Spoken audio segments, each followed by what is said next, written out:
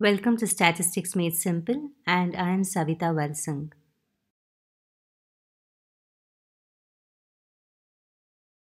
This is part 2 to solutions to problems based on Karl Pearson's correlation coefficient.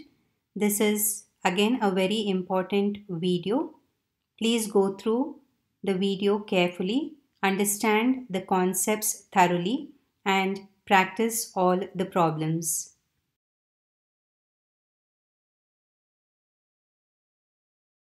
In my video, Correlation Part 5, we have solved problems on Karl Pearson's correlation coefficient using the direct method where the formula is in terms of x and y. But when the values of x and y are large, for example, even like three digit numbers, then the calculations become tedious as the values become very large. So in this case, Karl Pearson's correlation coefficient can also be solved using change of origin and change of scale method. So let me now explain what is change of origin and change of scale method. This concept has been used in my previous videos on the arithmetic mean. So let u be equal to x minus a divided by h. So when the x values are subtracted from some arbitrary value a that is called as change of origin and when they are divided by another term h that is known as change of scale. So a is usually the middlemost x value and h is the difference between the x values or it is the width of the class interval. Similarly, let v be equal to y minus b divided by k where b is usually the middlemost y value and k is the difference between the y values or the width of the class interval. Now if there is no proper difference between the x and y values, h and k are chosen as 1.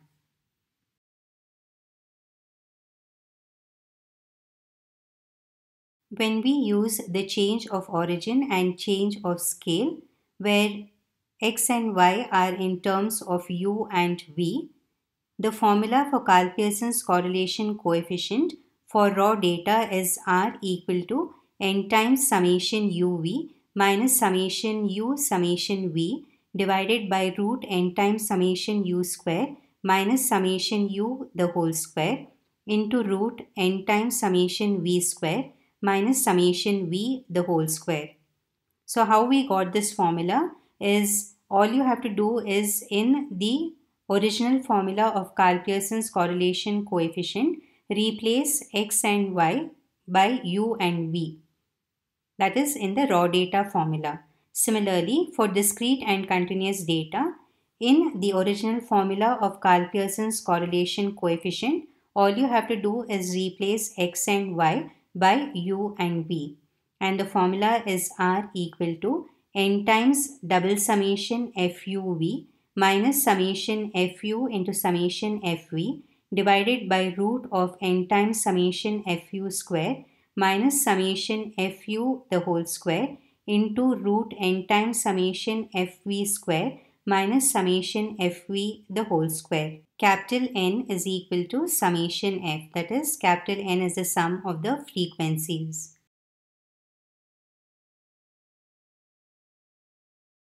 Seven. Calculate Karl Pearson's correlation coefficient from the following data. The x values are 12, 9, 8, 10, 11, 13 and 7. The y values are 14, 8, 6, 9, 11, 12 and 3. Now let us find Karl Pearson's correlation coefficient for this problem using the change of origin and the change of scale method. So now the middlemost x value is 10 and the middlemost y value is 9 which is highlighted in purple color and 10 and 9 are the values of a and b respectively. So below the table let us write solution and use the formula let u be equal to x minus a divided by h. Now observe the difference between the x values and the y values. There is no proper difference and hence we will take the values of h and k as 1. So continuing, we get which implies u equal to x minus 10 divided by 1 which is equal to x minus 10. Similarly, let v be equal to y minus b divided by k which implies v is equal to y minus 9 divided by 1 which is equal to y minus 9. Now the formula is going to be in terms of u and v and the columns which we need in the table are highlighted in pink color and the columns are u equal to x minus 10, v equal to y minus 9 and then we will require u square, v square and uv. Let us now find out u equal to x minus 10 values. So take the first value 12, subtract it from 10, you get the difference as 2. Similarly, take the next x value 9, subtract it from 10 and you get 9 minus 10 equal to minus 1. Continuing in a similar way, you get minus 2, 0, 1, 3, minus 3. Summation u results in 0. Similarly, find out v equal to y minus 9 which is 5, minus 1, minus 3, 0, 2, 3, minus 6. So how did we get these v values? The y values have to be subtracted from 9. Then find out summation v which is also equal to 0. Now find out u square which is 4140199. Summation u square is equal to 28. Similarly, v square values are 25, 1, 9, 0, 4, 9, 36 summation v square is equal to 84 and uv values are 10, 1, 6, 0, 2, 9, 18. Summation uv is equal to 46. So when you're finding out the uv values, please be careful with the sign.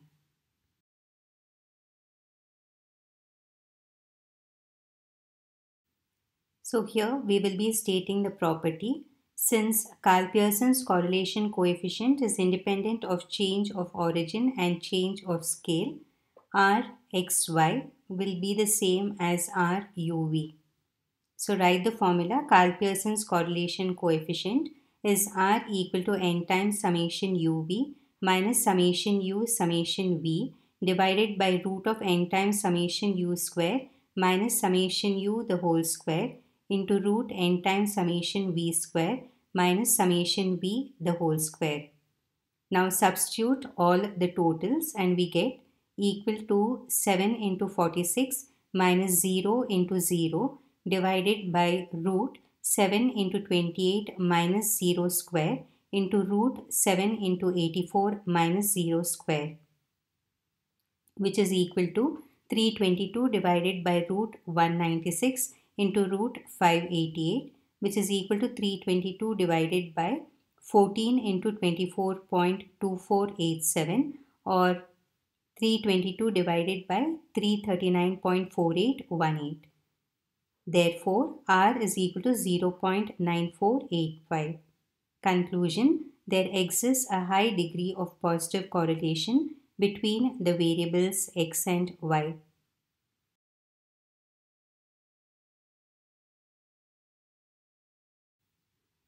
Problem 7 is an important one and it involves a different method of solving. Find the coefficient of correlation between the number of male and female children from the given data. So in the table you have two variables that is number of male children and number of female children which constitutes a bivariate data and the number of male children as well as number of female children are 0 1 2 3 4 and you also see that there are certain values which are highlighted in blue color. They stand for the frequencies. Now for example if you take the value 12 which is highlighted in blue color in the table, it means that there are 12 families which have two male children and two female children.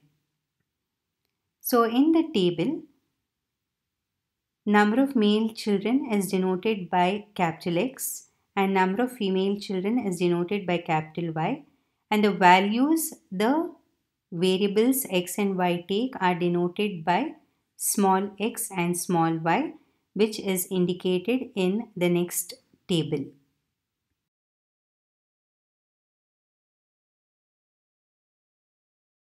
This particular problem requires a lot of practice. Please listen to the explanation very carefully. First, we write down the table which is given to us. So, number of male children we denoted by small x and number of female children are denoted by y. So first form the table as it is with the x values as 0, 1, 2, 3, 4 and the y values as 0, 1, 2, 3, 4 and whatever frequencies are given in blue color write down the frequencies as it is. Wherever there is a blank it indicates the value 0. Now the first step is we have to find out the sum of the frequencies row wise for the x values and also find out the sum of the frequencies column wise for the y values. So now form four more columns that is f, fx, fx square and summation fxy and four more rows that is f, fy, fy square and summation fxy.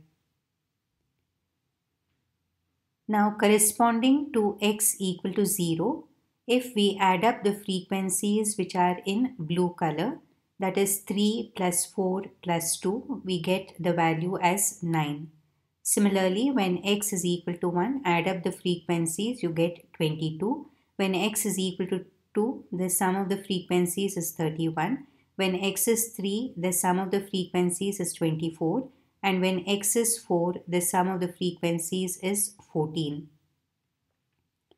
When we add up all these frequencies that is 9, 22, 31, 24, 14 we get capital N equal to 100. Now in a similar way when y is equal to 0 add up the frequencies that is 3 and 4 you get the frequency as 7 when y is 1, add up the frequencies 4, 8, 7, 3 which gives us 22. When y is 2, you get 33. When y is 3, the sum of the frequencies gives us 23. And when y is 4, the sum of the frequencies is 15.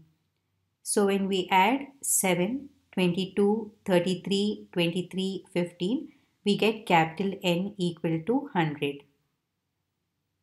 Now going back to the column fx. So how do we get the fx column? The frequencies should be multiplied with the corresponding x values. So 9 into 0 is 0, 22 into 1 is 22, 31 into 2 is 62, 24 into 3 is 72 and 14 into 4 gives us 56. Then find out fx square column fx square column can be obtained by multiplying fx with the x column. So 0 into 0 gives us 0. Then 22 into 1 is 22. 62 into 2 is 124. 72 into 3 is 216. 56 into 4 is 224. So summation fx is 212. Summation fx square is 586. Now I will go to the rows. We'll find out first fy and fy square. How do we get the fy values? The frequency should be multiplied by the corresponding y values. So 7 into 0 is 0. 22 into 1 is 22. 33 into 2 is 66. 23 into 3 is 69. 15 into 4 is 60. And we add the fy values that is 0 plus 22 plus 66 plus 69 plus 60 we get summation fy equal to 217. fy square values are obtained by multiplying the fy values by the corresponding y values. So 0 into 0 is 0, 22 into 1 is 22, 66 into 2 is 132, 69 into 3 is 207, 60 into 4 is 240 and summation fy square gives us 601. Now the most important step is to find out the column summation fxy and the last row which is summation fxy. Now how do we get the values in the column summation fxy? So fxy values are nothing but the values which are in maroon color in the small cells. So corresponding to x equal to 0, all the values in the small cell are 0 so the sum is 0. When x is 1, you add 0, 8, 16, 6 and 0. So you get 30. Then when x is 2, add 0 plus 14 plus 48 plus 48 plus 32 which gives us 142 in the last column. When x is 3, add 0, 9, 48, 72, 60 which gives us the total 189 and when x is 4 add 0 0, 24, 60, 96 which gives 180 and add up all these summation fxy values which gives double summation fxy equal to 541. Similarly, to find out the last row summation fxy, add up the values in the small cells for corresponding values of y. So when y takes the value 0, add up all the values in the small cell which is 0 which gives us 0. Similarly, when y takes the value 1, add up the values in the small cell that is 0 plus 8 plus 14 plus 9 plus 0 which is 31. When y takes the value 2, add 0, 16, 48, 48, 24 which gives us 136. When y is 3, add 0, 6, 48, 72, 60 which is 186 and when y is 4, add 0, 0, 32, 60, 96 which gives 188. So double summation fxy is 0 plus 31 plus 136 plus 186 plus 188 which is 541. So it's very important that double summation fxy for the rows as well as the column should be the same which in this case is 541.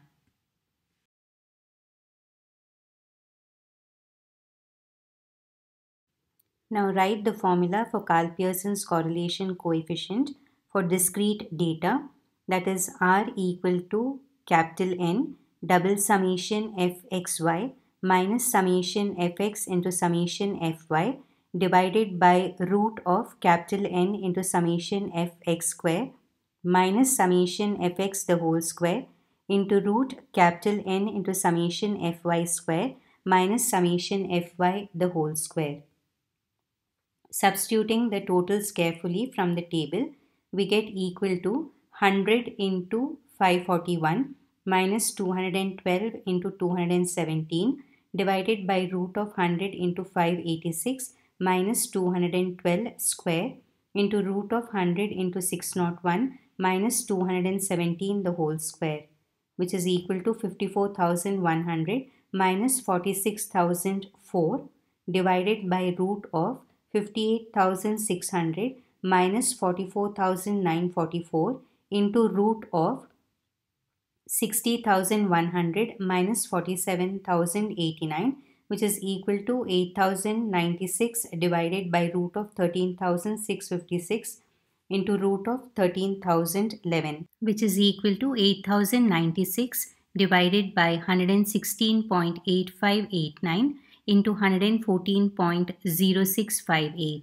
which implies R is equal to 8096 divided by 13329.6039 therefore R is equal to 0.6074 conclusion there exists a high degree of positive correlation between the variables x and y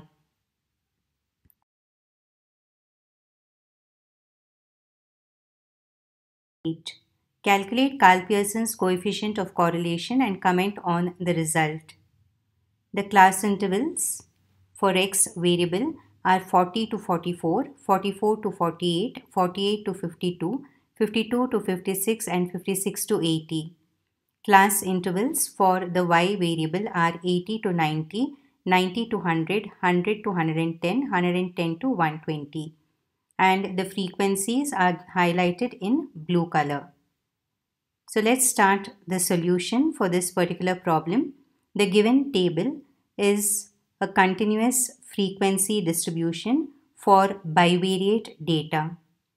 So now this particular problem I am going to solve using change of origin and change of scale.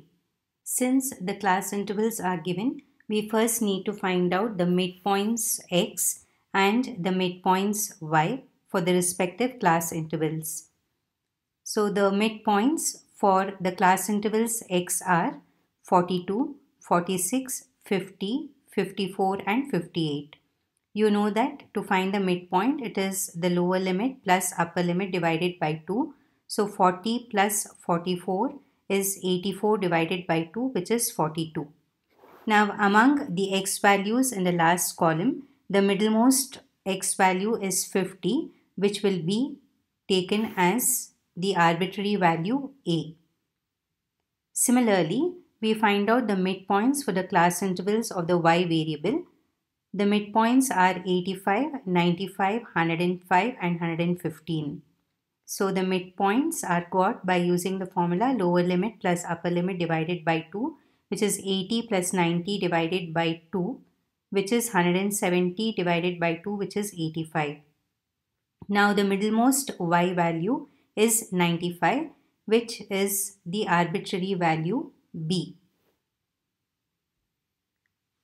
So solution let u be equal to x minus a divided by h which implies that u is equal to x minus 50 divided by h which is 4. Now how did we get 4? 4 is the difference between the x values. Similarly, let v be equal to y minus b divided by k which implies v is equal to y minus 95 divided by 10 that is k is what it is the difference between the y values if you observe k is 10 please note that since we don't get the exact middlemost value for y i have chosen b to be 95 but b can be also chosen as 105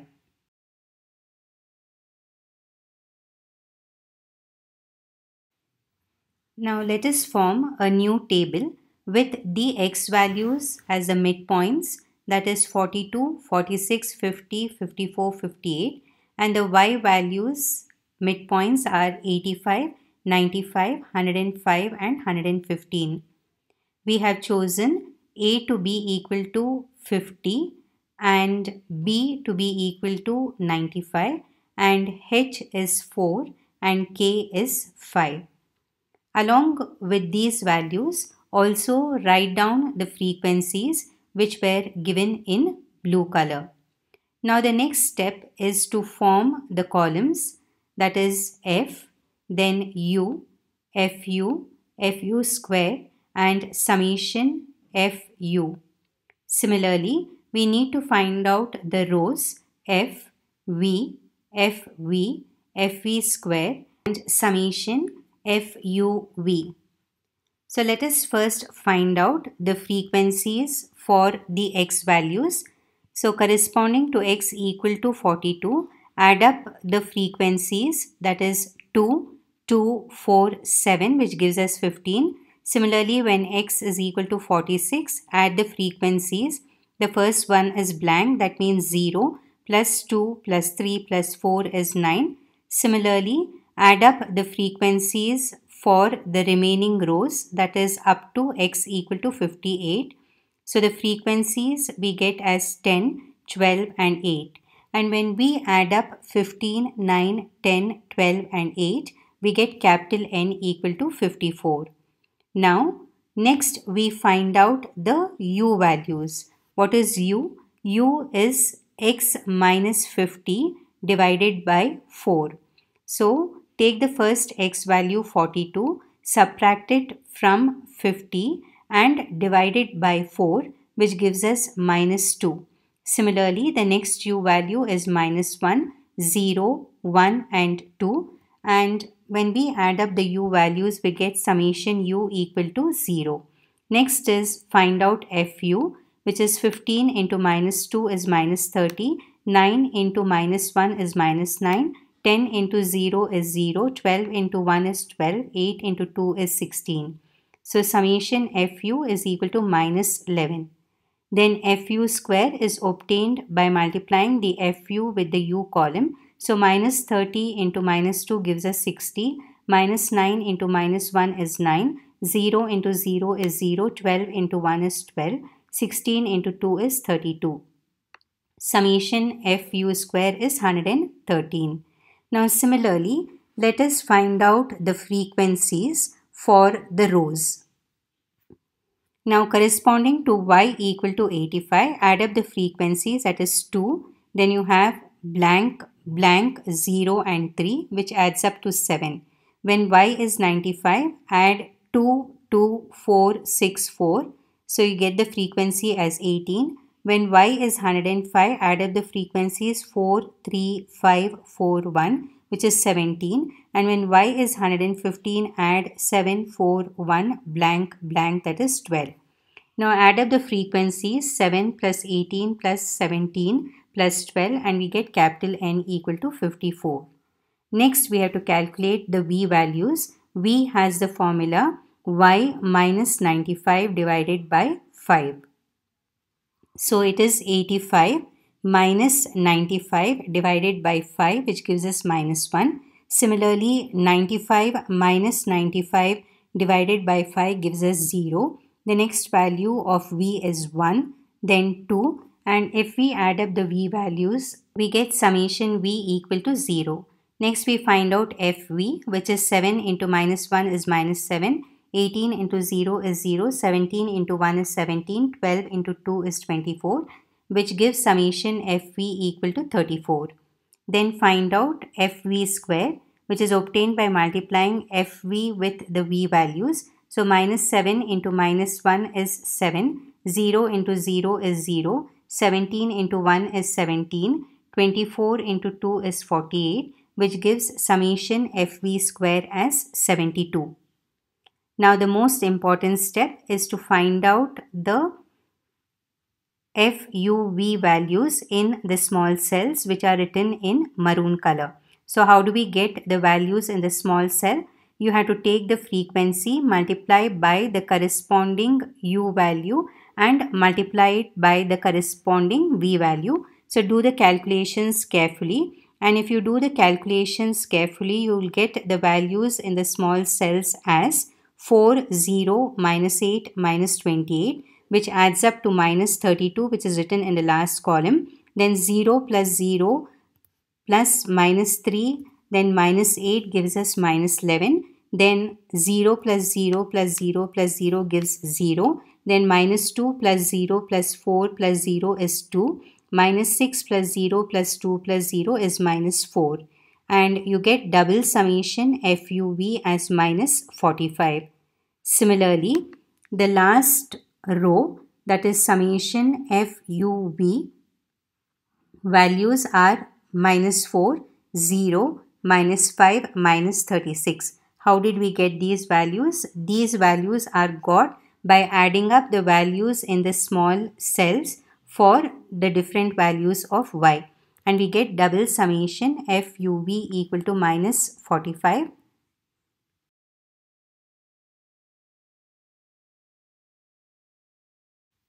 Now write the statement that since Karl-Pearson's correlation coefficient is independent of change of origin and change of scale, Rxy is equal to RUV.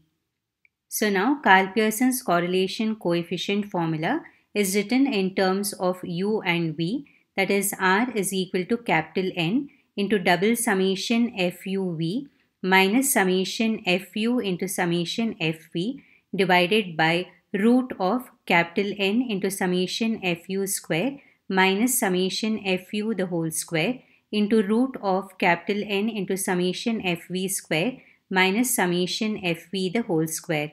Substituting all the totals we get equal to 54 into minus 45 minus of minus 11 into 34 divided by root 54 into 113 minus of minus 11 the whole square into root of 54 into 72 minus 34 square which gives us equal to minus 2430 plus 374 divided by root of 6102 minus 121 into root of 3888 minus 1156 which implies r is equal to minus 2056 divided by root of 5981 into root of 2732 which is equal to minus 2056 divided by 77.3369 into 52.2685 which is equal to minus 2056 divided by 4042.2838. Therefore, R is equal to minus 0.5086. Conclusion There exists a high degree of negative correlation between the variables x and y.